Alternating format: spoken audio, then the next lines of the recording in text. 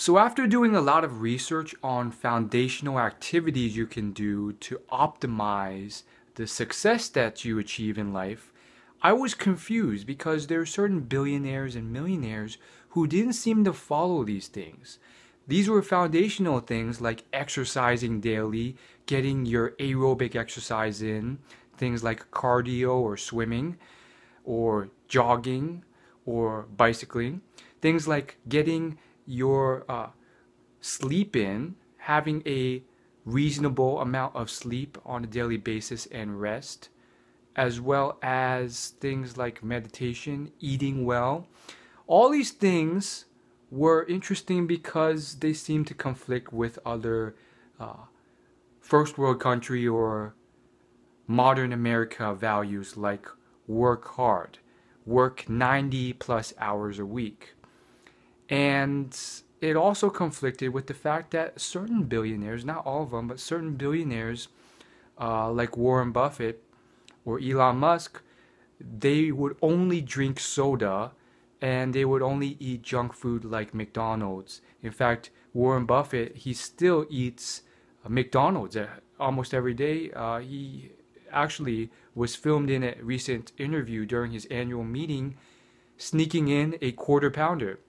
So it's just, you know, in a certain way, it's cool because he's still a very uh, cheap and, uh, you know, minimal means guy. You know, he's not like consumed by materialism. He still eats what all of us eat. Uh, but at the same time, it made me wonder, like, how maybe I can eat junk food. But fortunately enough, I came across this incredible article by the youngest billionaire in the history of humankind. It's really cool, in fact. In fact, he's a uh, lesser known billionaire. His name's Dustin Moskovitz. He's one of the co founders to Facebook, and uh, Forbes named him the youngest billionaire in history, which is a cool title. And also, it's, it's cool that he's kind of not well known despite having that incredible title. Uh, more importantly, he has a blog on medium.com that he doesn't update often, but there's this certain article that he wrote called Work Hard, Live Well, and I think it's incredibly insightful. And it's, it's a, he's a cool guy. He actually uh, built Asana, which I've used. It's an incredibly interesting app. Uh, but the point of the article, and I've I have photo screenshots of it in case he ever takes it down. But I screenshotted the part I liked the most, which you can view in the link below this video. But the point of it is uh, he answered this question that was asked of him. If you could do your life over again, what would you do differently? And he says he wish he had slept more hours, exercised regularly, and made better decisions in terms of what he ate or drank. He consumed too much soda and a lot of junk food. And this article really just shifted my mind because there's so much extensive, extensive science, so much research and studies that confirm what I found with how exercise extends how long you live, how productive you are, how focused you are, as well as nutrition and uh, you know certain things like uh, you can also add meditation uh, and yet, there are certain outliers, like it or not. And he just reaffirmed my uh, point, which is that these are important. I mean, this billionaire, he, he, and he just didn't say it. He backed it up with data, with studies, and his own regrets. And he countered the one, uh, you know, point that could have been made against it. He says, "You might think but if you had prioritized those things, I'm quoting him directly, wouldn't your contributions have been reduced? Would Facebook have been less successful? So this is like the paradox that people bring up.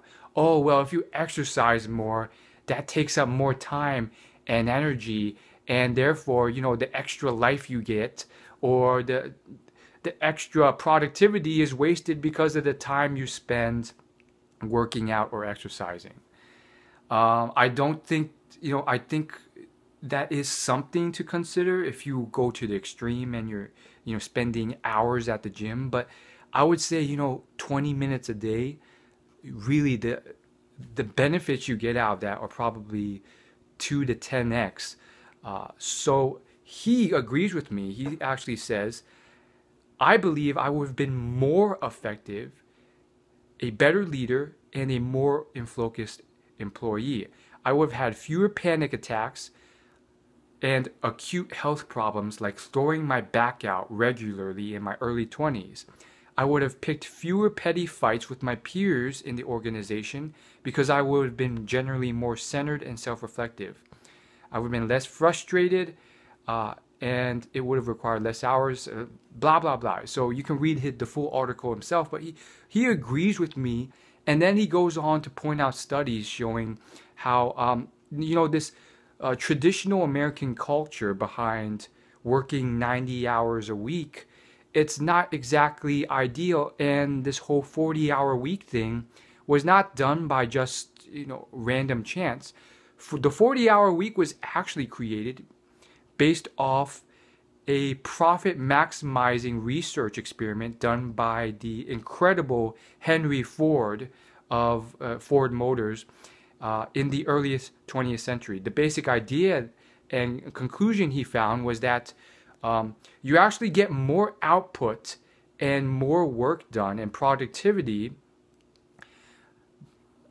optimally around 40 to 50 hours per week for your employees versus what the traditional model was, which was uh, people assume that if you work your employees to death, like workhorses for 90 hours a week or 80 hours a week, uh, you get the most out of them, which is false. Uh, again, it's it's one it's a great nod at why science and actual testing is more important than theory or whatever you believe is true. Uh, and so, ultimately, what he's saying here is that um, he basically agrees with a lot of the findings that I emphasize, which is that what you eat and your, your nutrition is incredibly important. Getting your full amount of sleep is important. Exercising is important. And honestly, there's such simple foundational things, and yet most people don't do it properly. Um, you know, I think the optimal way of doing it is to not go overboard. I think you know, there are people who oversleep in certain ways and they use excuses. So, what's the optimal dosage of each of these things and how should you do them to create optimal results? I think just having a general sense is good enough. I mean, it's not rocket science here. Most of us know generally what's good. And of course, you can get into the specifics and the nitty gritty uh, as as far as which food is healthy, which one's the most healthy. But at that point, you're looking at like nutritionist experts who are debating the minutia, the small marginal stuff that you know has very uh, minimal returns. Uh, obviously, you can obviously improve that over time. Get a nutritionist if you can afford it to get your optimal results. But generally speaking, for most people, they suck at it. I mean, it's very clear that they're eating just straight junk food sodas, fried chicken, burgers. Uh, I have learned over time that you can get the best of both worlds in certain ways. You don't have to sacrifice, like many women believe, many people believe, that you have to sacrifice completely. And if you eat healthy, none of it's going to taste good. And uh, after studying a lot of awesome cooking videos on YouTube. I don't believe that anymore. I think, you know, the right chefs, the right recipes can make really healthy food taste incredible. And trust me, I'm a really picky eater. Uh, and so that's one thing. As far as sleep goes, again, people differ. Uh, there's small, subtle differences. I think uh, for me, I come from an Asian background and I have thousands of years of Asian ancestry and specific environmental situations that my body is more equipped for and therefore more Asian type foods that uh, are better suited for my body and a specific, uh, unique set of nutritional uh, resources that might differ slightly from someone who's more European or Hispanic. Uh, so the same thing goes for sleep and nutrition. Maybe for whatever reason, some of us, whether it's because we grew up in African ancestry and uh, you, your culture, your livelihood required you to wake up early or, or survive on minimal sleep, you could be just as fully rested uh, as me with half the amount of sleep. So, generally speaking, though, eight hours is great. It's a great thing to aim for. Some people say, uh, and there's a YouTuber, his name's Scooby, and he's like a fitness guy. He says, if you need an alarm clock to wake up, you don't get enough sleep. You sleep until uh, your body wakes you. I would say maybe that's extremist outlook uh, and for some people they can't do that because they just they just think that they'll sleep for way too long but maybe that really is your natural sleep cycle i know for me specifically i sleep 10 to 11 hours on average i just am a long sleeper if i don't have an alarm clock and that's just something you might have to accept for some people uh, maybe you can't because you're just so focused on uh, getting the most out of your life and you've been able to do just fine on five hours of sleep with an alarm clock. So you can't let go of that. I would say experiment with it. Um, I know my natural sleep after just not using alarm clock is around 10 to 11 hours. So I aim for at least 9 to 10 a day. Uh, and uh, I think that's really important. There's a lot of studies showing that more sleep is useful. Uh, again, you know, just the general direction is important. I mean, most people, I mean, they die without ever fixing this, and it's it's not the minutia that they're concerned about. They're just straight up in the wrong zone. They're eating junk food. That's clearly junk food. So fix those things. Sleep, exercise, nutrition. Same thing with exercise. I mean, there's so much out there on exercise. It's really not that it's just common sense, man. Most people don't even exercise on a weekly basis. So it's not about how should I exercise, how should I do it. There's so much on there. Just get out there and start doing. Start moving in the right direction. And long story short, I think it will incredibly help you out.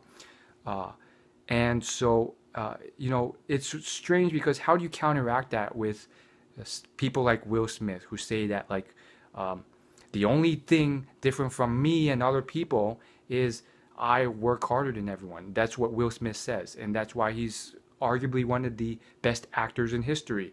If you watch any interviews by him, Will Smith says that he will outwork anyone. So, how do you combat that with all these success stories from actors or celebrities or millionaires or whoever else that uh, I've seen who say, uh, you know, I worked 80, 90 hours a week, and that's how I succeeded.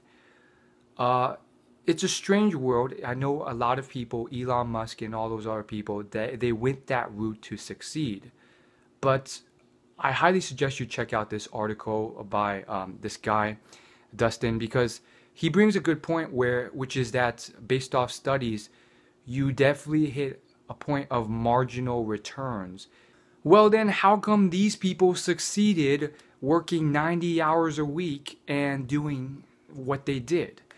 I think I'm pointing back to Dustin's article. He makes the great point, and he's a great illustration of this that you can get to this high level of success while making all sorts of mistakes. He made a lot of mistakes during his career, and he could have done it much more efficiently himself. And that just goes to show you that there's probably someone in the future who can listen to this and do it more efficiently uh, than even Dustin did. And he failed in the things I just mentioned. So you can learn and do better in those ways as well. And so don't always fall for this straight myth that, you know, working hard alone is all you need. I think optimizing can really help you. Of course, you know, throw in a few 40 to 60 to 70 hour weeks occasionally, and that'll definitely help. But uh, again, the studies show, as he points out, that you really hit a point of marginal returns where you're getting very little bang for your buck uh, based off extra effort because you're hitting a point of sleep deprivation where you're pretty much acting like you're exceptionally drunk. So keep those things in mind, and I definitely think uh, a healthy balance uh, of the right things can really help you out. Again, check this guy out. I'll link the article, and thanks for watching. See you next week. If you're new to this channel, hit the subscribe button below for free updates. And of course, all the good stuff is on my email newsletter, which you can sign up for on my blog, which is linked below as well. Thanks for watching. Peace. Hope you like this video. Of course, if you're new to this channel, this channel is all about self-development and success. You can hit the subscribe button below for free updates every Thursday. Otherwise, I will see you in my next video.